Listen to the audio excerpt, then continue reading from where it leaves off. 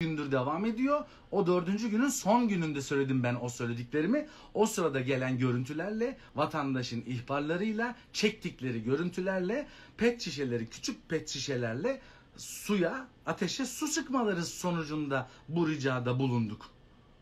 Ne var bunda? Hepimiz aynı gemideyiz arkadaş.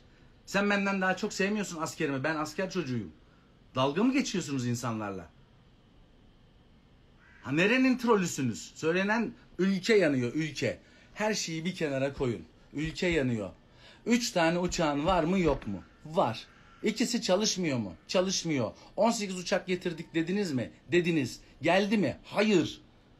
40 tane helikopter 120 noktaya müdahale etmeye çalışıyor. Geri kalanında bir grup insan, köylü, çiftçi, asker, şimdi tomalar. E ta böyle yapılacak tabii. Bu, bunu söyledik. Neyin kompleksi bu? Düşünememiş olabilirsiniz. Birileri ben de düşünemedim.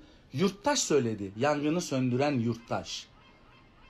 Onlar görüntü gönderdiler. Niye kimse gitmiyor sorusu o zaman belirdi. O soru vardı çünkü. Bak okluk niye yanmıyor diyor. Bilmiyorum okluk niye yanmıyor. Yani elimden geleni yapıyorum. Bizim insan bize yazıyor diyor ki su lazım, su lazım diye anons yapıyoruz.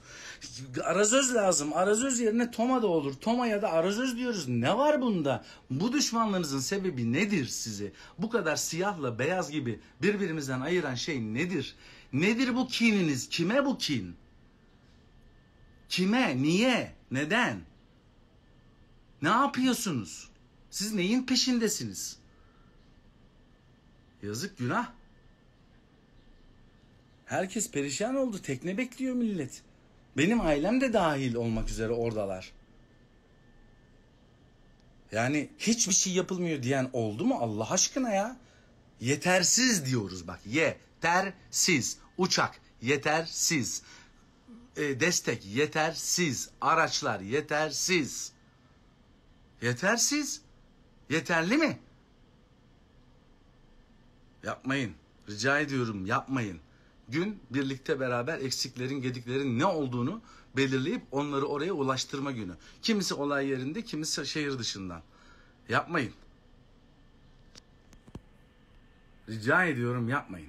Yapmayın. Bütün yapmayın. Yani hakikaten yapmayın. Kinli olan biri yok. Sadece ormanlarımız gidiyor. Benim olduğu kadar senin de. Yetersiz olduğunu söylüyoruz. Bu kadar basit. Bu